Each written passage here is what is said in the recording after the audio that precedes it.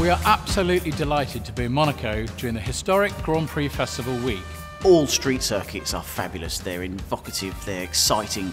Monaco brings the glitz, the glam, that real excitement that every racing driver, enthusiast, and spectator wants to see. Round the houses at Monte Carlo. We've been working on this project now for a number of months and we're delighted to announce that we will be hosting an auction on the 23rd of April.